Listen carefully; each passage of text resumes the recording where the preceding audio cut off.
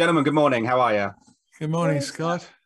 Your backgrounds and your places where you're doing this interview are much more luxurious than mine, I have to say. Look at those lovely views. I can't even, I, well, obviously, I don't have eyes in the back of my head. I have no idea what's going on back there. it's just green. That's it. Okay. uh, guys, congratulations on on the film. Thank you. Thank you very much. Hopefully, I'll have some questions that you haven't heard in the last four or five months that you've been promoting the the film and this crazy cycle uh, that you've been uh, that you've been on since since you first uh, started talking about it, which is a long time. Has that been a strange? Uh, Jude, maybe for you, I'll start with you. How have you found the whole process of not just promoting the film, but promoting the film for for such a long time? Well, it's been very strange these past few months, but um, yeah, I just love seeing people and talking with them and making friends with them. Because one day you might see them again and say, "Oh, hi, I remember you." But yeah, it's all been so surreal for me, and yeah, even now it's still like I just have to take a second look to make sure that it's all real.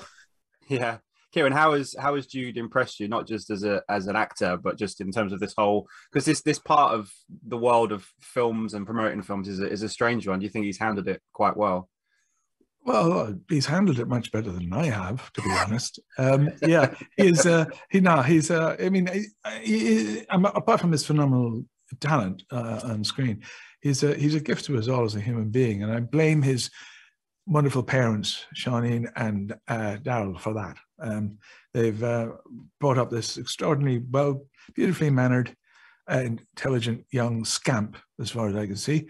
And uh, they're, uh, well, it's great. Shawneen, his mum, has been traveling around. She's great company. And uh, she keeps a wary eye on him. And But in a way, he's his own young man now.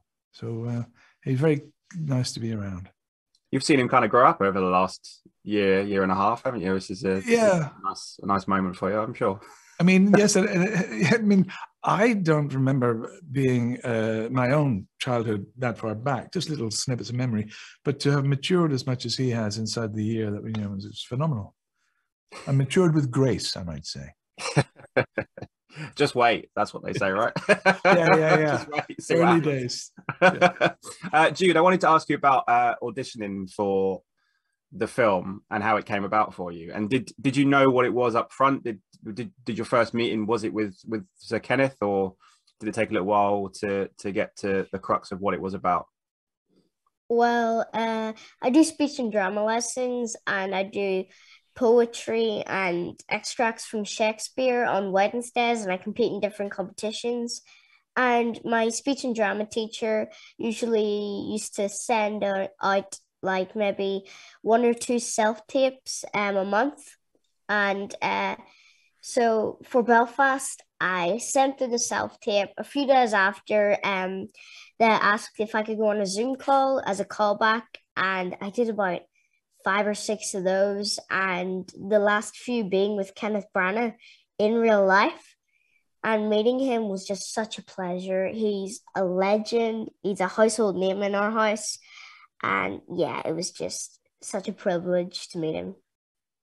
You got to learn the world of Zoom that we're all learning to. I had no idea what Zoom was a year ago, uh, or two, a year and a half ago. What's Zoom? That's madness. Anyway, uh, Ciarán, for you, I mean, I know this obviously touches on your own history and, and your childhood and everything else. How how well did you think and how because Kenneth has this wonderful kind of humanity at the, the heart of this. It isn't it isn't kind of telling you one side or another. It's just telling you the story of the, the humans at the center of it. How how fortunate do you feel to have been a part of something like this?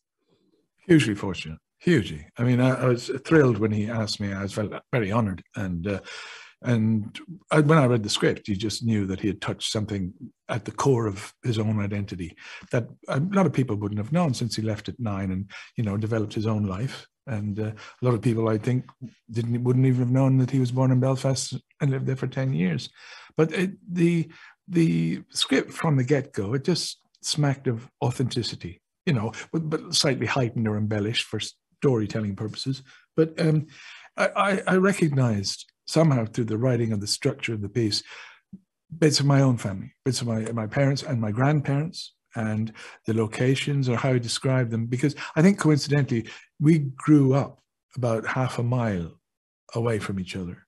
but I was born Catholic, he was born Protestant, so we never went to the same schools, segregated schools. Um, but we the, the same reference points, the parks, the waterworks, the Cave Hill Mountain, Napoleon's Nose, all these that are referenced. I, it, it, was almost like I was really taken back into my own identity when I was back. Oh, mine would have been about 10 years before him.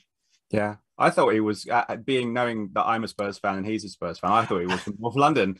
I never knew he was from Belfast. So it was a shock to me seeing all of that. Oh, right, yeah. No, well, you know, because uh, I mean, Jude's a Liverpool supporter. I love him. I'm a, I'm a United supporter for my sins.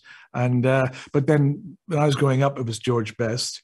Uh, that's why a lot of us supported uh, United. And uh, Ken, of course, uh, there was Danny Blanchflower at Spurs. So yes. he's great Northern Irish player. So that's how they follow him. I don't know why or how Jude supports Liverpool. Maybe he'll explain it to us. Why do you support Liverpool, Jude?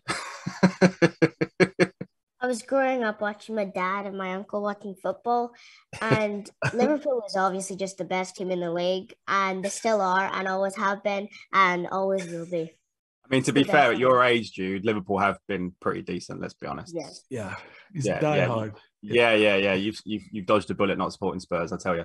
Anyway, um, Jude, let me ask you about you. You work with Caitriona and Jamie and Judi and Ciarán for a first film, it must have they must have put, made such an impression on you uh, for you as a young actor. Do you, uh, uh, did they? How did they rub off on you? And was it a good experience? Oh, well, a great experience. I'd imagine working with such such talents of the screen well it was just a fabulous like experience in a whole meeting all of these people like ciarán judi ken jamie and caitriona and they all taught me something different um, and i put that all into this film and i'll carry all that advice onto any future projects that i do. Sure you will. Ciarán i wanted to ask you there's a line in the trailer that you say that lots of people have, have, have pinpointed which is you saying uh, if they can't understand you, then they're not listening, which I, I, think is such a great, great line for so many different reasons. Was that a fun line to play on set? Did you know that maybe that was going to be something that would resonate with with people, given not the connotations, but just what it means to, to different people? Uh, yeah, no, I, I, understood the concept uh, originally having because when I left Belfast, um, although I like Jude, I'd, I'd done a little bit of drama, so I understood a bit about making yourself clear. Uh, uh, and I had, had had experience of that. Uh, what did you say? Repeat yourself. But I, I recognized it uh, a lot when I went up to Glasgow. And as we know, Glasgow is really thick Scottish accent. And uh, I understood them. I come from the north of Ireland. I understood what they were saying, but the actors from London didn't have a clue. I had to almost translate for them. And it's that interesting thing about that, because as we know in uh, in Britain and Ireland, the accents change all over the place. Uh, and that idea of us, when you communicate with someone, you got to make the effort to really listen. You know, it's not a question of like, tell me what I want to hear in my own uh, vernacular. You know, when you communicate with someone, you really got to work at the communication, and it is possible. You just need, I think, the listener needs to go like and work it out and have fun working it out. You know, other other other sense of of place uh, is always interesting to find out about, rather than say like, can't understand you. Next, you know, pointless. Yeah. And obviously, the film's now finally coming out in the UK. How excited are you for people to to see it? Because it's been kind of on people's radar for for a long time. Are you are you Jude? Are you ready for people in not just in the UK but in Ireland to to see the film? Well, yeah, for it to come out um, around here is crazy, and I can't wait to see my friends' reactions and the rest of my family to the film. And I think um, everybody in Belfast, and especially the older generations, will know about it and they'll love it just as much as everyone else. So, I'm yeah, sure it's going to be very special for Belfast and all of Ireland. I'm sure they will. Gentlemen, lovely to talk to you. Uh, thank you so much for your time. Absolute pleasure and good luck with the film. Thank, thank you very much. Thank you very much. Cheers. Thanks, Scott. Ladies and gentlemen, you're watching Hey You Guys! Hey You Guys, huh? Hey You Guys. Is that from the Goonies? It is indeed, Nice. Hey